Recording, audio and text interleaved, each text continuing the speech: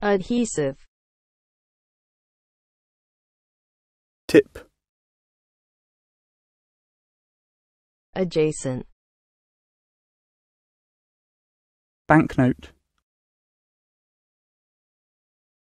adjust,